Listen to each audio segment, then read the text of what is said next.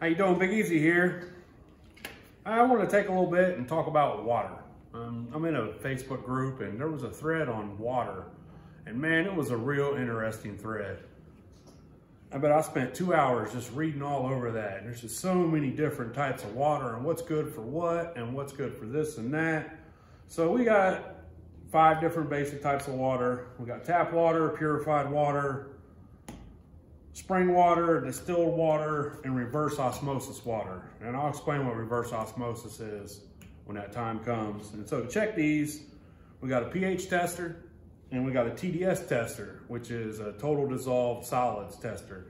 And the dissolved solids in these are what makes your shine cloudy when you go to proof it. So we'll talk more about each one when we get into them. All right, we're gonna start with our tap water. Um, you know, basic water, the pH on it is usually between six and eight. Um, like, I wouldn't use tap water for anything as far as when it comes to alcohol making. You know, I wouldn't make my mash with it. I definitely wouldn't proof with it. Um, it's just got so much extra stuff in it as far as calcium and they put fluoride in it and you just don't want that stuff. So, I mean, pretty much all I use uh, tap water for is to water my plants, water my lawn. If I'm going to drink it, it's definitely got to go through a, uh, it's got to go through a filter. But I prefer to just drink spring water. So much better. So it looks like our tap pH, and we're coming up about 8.65. So, and that's to be expected. They add a little, make it a little more alkaline when um, it comes to your tap water.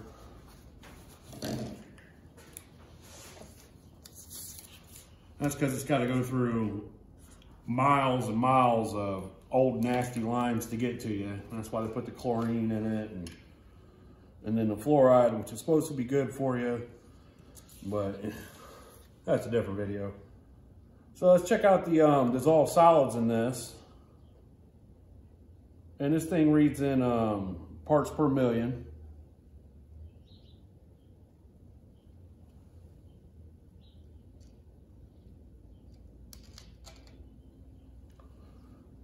So it looks like um, tap water's got 193 parts per million of total dissolved solids in there.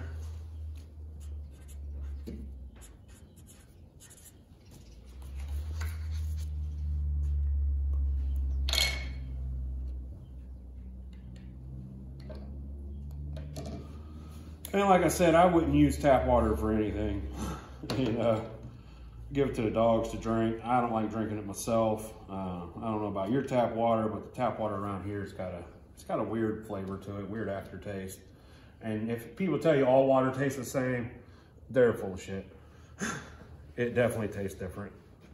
So here we got um, purified water. Now, you know, I'm perfectly fine using purified water to uh, make my mash with. Um, I don't like to use it to proof with because it's got dissolved solids in it and it just makes it cloudy. It looks like we're running about 8.09 pH.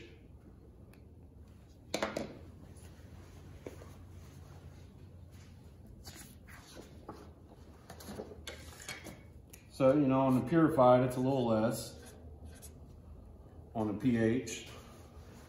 But, you know, it comes straight from the bottle. I don't have to go through the water lines. Let's see what the TDS is, because they filter it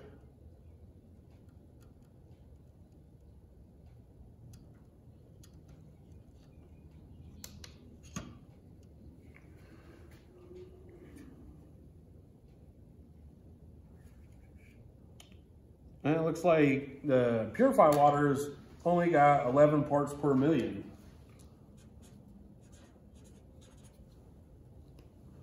So, I mean, you could proof with this. Um, and it, it'll cloud up on you a little bit. And you could always fix that cloudiness by running it through a, a Brita filter. So here we are on to the spring water. Now, as far as for mash making goes, spring water is my favorite, um, especially if you can get it straight from the source I like to go not far from here and there's an artesian well and the water comes up through limestone and eh, nothing makes a better mash or a better shine than some high quality artesian well limestone water. So if you could get some artesian well water, then that's the way to go. Um, if not, then just natural spring water is what I prefer to use. It looks like our pH on this spring water is uh, 7.7. And see, most of your groundwater, it comes out of the ground, it comes out between six and eight on your pH level. You know, the lower your pH, the more acid it is.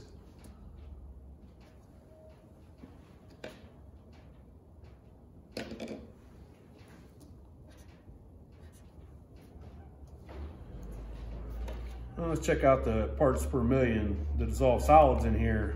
Now this is, where your flavor comes from out of the spring water, is these dissolved solids. You know, it's got all your natural minerals and so it looks like we're at 218 parts per million in that spring water.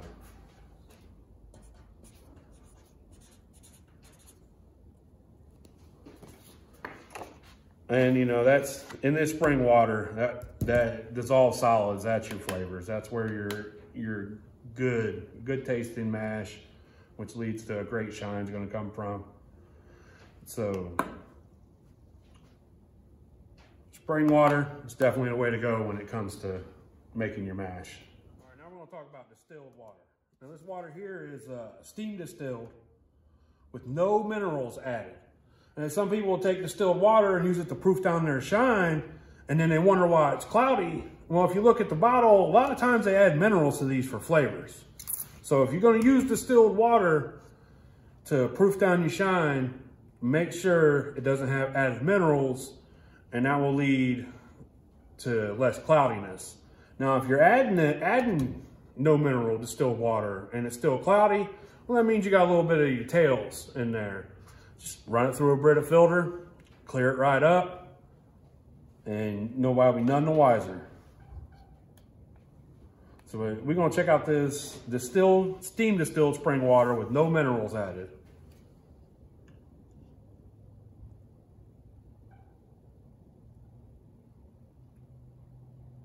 We've got a pH of eight, right on the dot.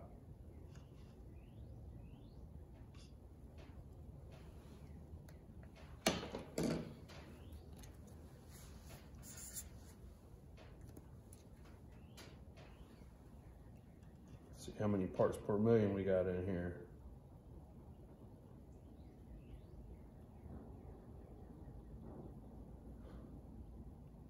So in this distilled water, it's got three parts per million. That's virtually nothing. And that's why it's really good water to temper your shine with. Um, it has no added parts, so you're not gonna get any extra flavors off of it. You're not gonna get um, cloudiness off of it. But you know, if if this is cold and your shine's warm, you're gonna create cloudiness. You just have to wait for it to clear up. You definitely wanna mix everything same temperature, usually about room temperature. Now we're gonna move on to the golden water, reverse osmosis water. See, what re reverse osmosis is, reverse osmosis is a water purification process that uses a partially permeable membrane and it separates the ions and the solids and all that out of the water. Um, a lot of people buy reverse osmosis machines and they use them to, to separate all the fluoride out of their water and all the calcium and everything that comes to the tap water. Now this water is supposed to be, you know, it's it's filtered and then they run it through. It's almost like a really small cheesecloth and it separates all the crap from the water molecules. And the only thing that can get through is the water molecules and it leads to really clean tasting water.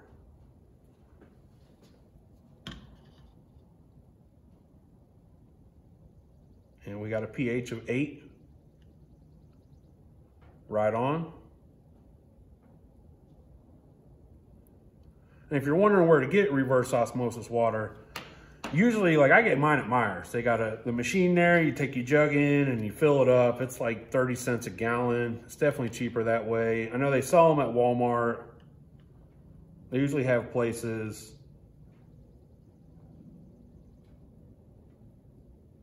And then even with the reverse osmosis water, we're looking at 56 parts per million.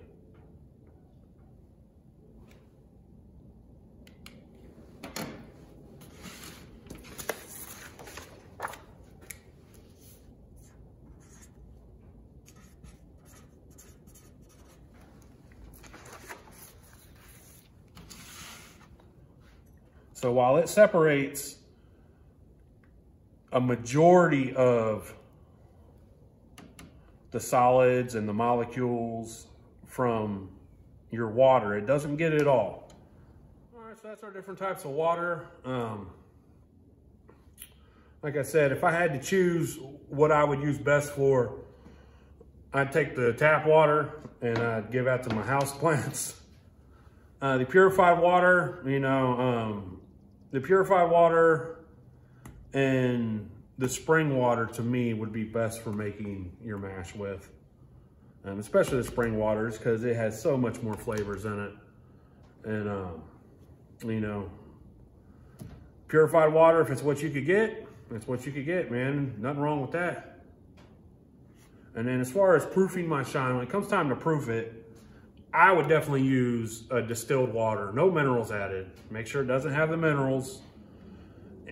Or, you know, the reverse osmosis water, if that's what you prefer to use. Um, for me, I like distilled water. I mean, I got a still. I just make my own distilled water. You turn your tap water into distilled water.